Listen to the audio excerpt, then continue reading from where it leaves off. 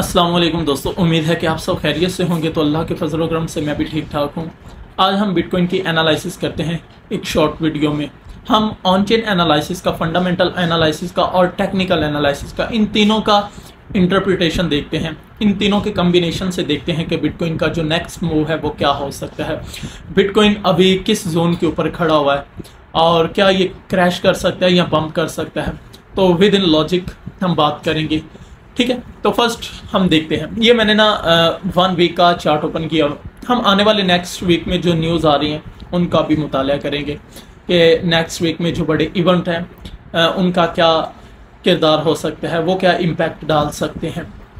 तो अभी मैंने वन वीक का चार्ट ओपन किया हुआ है।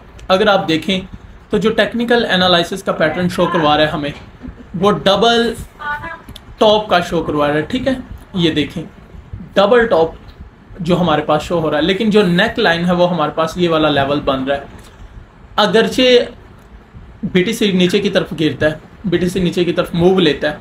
ले लेकिन इस जोन से अगर सपोर्ट ले लेता है, ये अगर आप देखें ना इस लेवल से, उससे भी क्लासिकल ज़्यादा जो लेवल हमारे पास माना जाएगा, वो छप्पन हज़ार डॉलर का है। लेकिन वो इस सेंस में अगर बीटीसी जो अपनी सपोर्ट है, वो इकाठ हज़ार डॉलर के ऊपर सिक्सटी वन थाउज़ेंड के ऊपर अगर होल्ड नहीं करता अगर इस पॉइंट से होल्ड करके ऊपर की तरफ़ निकल जाता है, ठीक है? ये वाला एरिया जो आपको नज़र आ रहा है, अगर इस पॉइंट से बीटीसी सपोर्ट लेता है और ऊपर की तरफ़ इस तरह उछलता है, या ऊपर की तरफ़ क्लोजिंग दे देता है वन वीक की कैंडल में तो ये एक गुड साइन होगा। फिर हम इजीली एक्सपेक्ट कर सकते हैं कि जो बीटीसी है वो नेक्स्ट हमारे पास सेवेंटी फोर थाउज़ेंड और तकरीबन ऑलमोस्ट ये वाली जो रेंज हमारे पास सेवेंटी सेवन वाली रेंज ठीक है? सेवेंटी फाइव और सेवेंटी फोर वाली रेंज क्योंकि जो नेक्स्ट लिक्विडिटी है वो हमारे पास इस जोन में पड़ी हुई है। अगर B T C sixty one thousand से सपोर्ट लेके ऊपर की तरफ़ क्लोजिंग देता है, इसके नीचे क्लोजिंग नहीं देनी चाहिए वन वीक की कैंडल में। तो ये हमारे पास क्या होगा? एक गुड साइन होगा और बी टी सी का जो नेक्स्ट टारगेट होगा वो सेवेंटी फाइव थाउज़ेंड या सेवेंटी सेवन थाउज़ेंड अगर इस स्पोर्ट को होल्ड नहीं कर पाता ब्रेक कर देता है इन केस ठीक है, ये सेकंड सिनेरियो तो फिर जो हमारे पास अगला टारगेट होगा, वो हमारे पास fifty five thousand fifty six thousand और उसके बाद जो नेक्स्ट होगा, वो हमारे पास फोर्टी एट थाउज़ेंड ये दो हमारे पास एरिया होंगे, ठीक है? क्योंकि दोनों की जो मेजर स्पॉट बन रही है और लिक्विडिटी जो माल पड़ा होगा, वो हमारे पास ये एक ऑर्डर ब्लॉक है, ठीक है?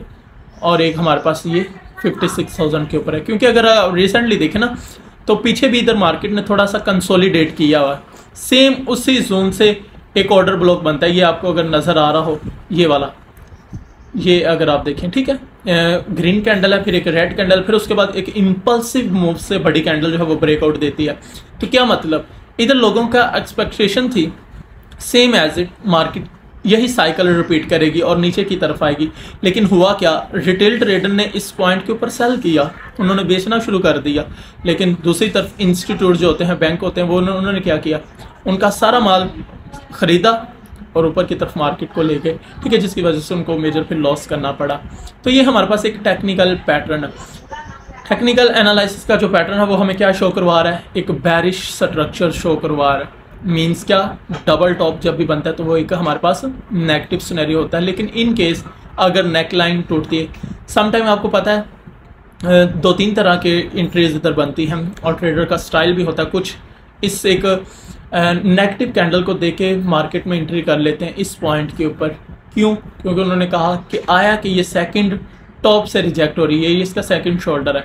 और कुछ लोग जो इंतज़ार कर रहे हैं वो इस नेक लाइन के टूटने का इंतज़ार करें और कुछ इस नेक लाइन को टूटने का इंतज़ार करें क्योंकि उससे फिर नेक्स्ट बीच आप देखेंगे तो कोई गैप नहीं है। अगर बी टी सी स्पॉट लेता भी है तो 52,000 और 48,000 की रेंज में हमें नज़र आएगा बिल्कुल ईजिली स्मूथली तो some time trader highly accurate और हाई प्रोबेबिलिटी एंट्री का भी वेट करते हैं। फिर इसके बाद अगर हम ऑन चेन एनालिसिस की बात करें तो अगर हम एक वेबसाइट का है जिसका नाम है क्रिप्टो क्वांट अगर आप इसके ऊपर आएँगे तो आपको सारा का सारा ऑन चेन का डाटा मिल जाएगा। दूसरी वेबसाइट है ग्लास नोट तो अगर मैं इधर एक्सचेंज फ्लो के ऊपर क्लिक करता हूँ, हम देखते हैं कि एक्सचेंज जो रिज़र्व है वो बढ़ रहे हैं या कम हो रहे हैं। सिंपल लॉजिक है। अगर एक्सचेंज रिज़र्व बढ़ना शुरू हो जाते हैं तो इसका मतलब है कि बी क्रैश करेगा। बी नीचे की तरफ़ जाएगा।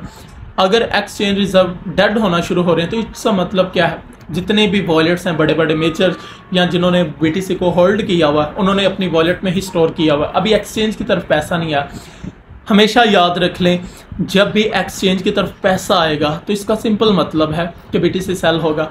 कोई भी बड़ा ट्रेडर है, या कोई भी जो डिसिप्लिन वाला ट्रेडर है, जिसके पास अच्छी खासी अमाउंट होती है, या उसके मुताबिक जो उसका कैपिटल होता है, वो हैंडसम होता है तो वो हमेशा अपना पैसा वॉलेट में ही रखता है। कोई भी ऐसा ट्रेडर नहीं होता बड़ा, या जो कह लो कि डिसिप्लिन के साथ काम कर रहा और वो सारा का सारा पैसा अपना एक्सचेंज के ऊपर रखे, ठीक है?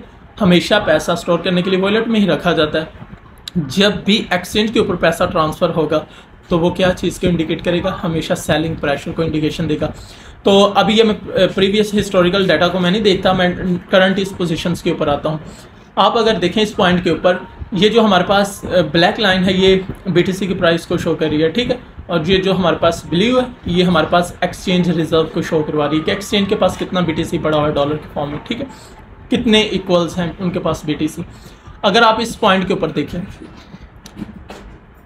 बीटीसी नीचे की तरफ़ मूव कर रहे हैं, लेकिन ये कर्व अगर आप इधर से देखें थोड़ा इसी, ये ऊपर की तरफ़ जा रही है इट्स मीन क्या? एक्सचेंज रिज़र्व अब बढ़ना शुरू हो रहे हैं और बीटीसी की वैल्यू जो है वो नीचे की तरफ़ आना शुरू हो रही है। ठीक है?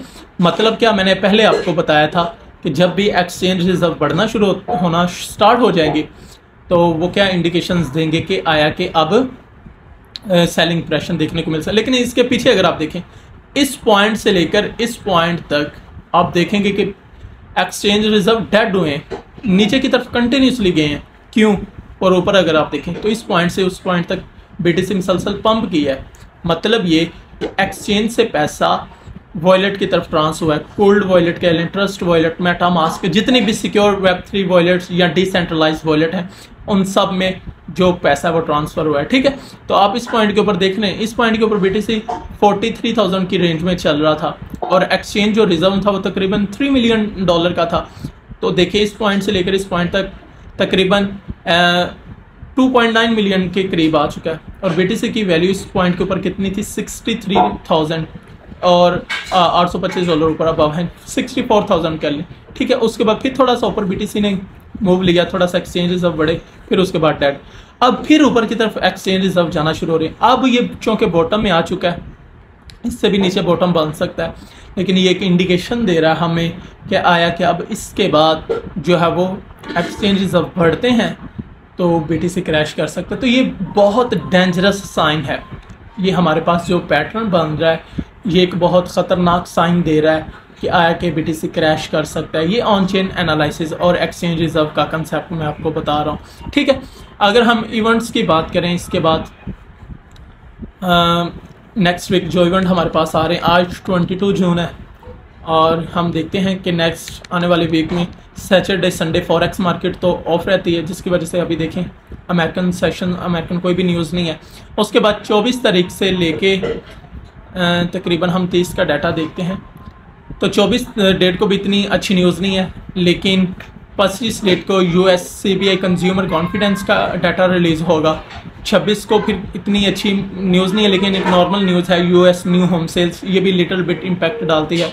फिर उसके बाद थर्सडे ट्वेंटी सेवन को U S final G D P Q over Q का हमारे पास डाटा है, और इसके बाद यू एस अनएम्प्लॉयमेंट का डेटा ठीक है? सताईस डेट को अच्छा खासा मार्केट के ऊपर इम्पैक्ट देखने को मिल सकता है। फिर अट्ठाईस को भी एक मिडल रेंज न्यूज़ है यूएस को और पीसीए प्राइस इंडेक्स की, ठीक है?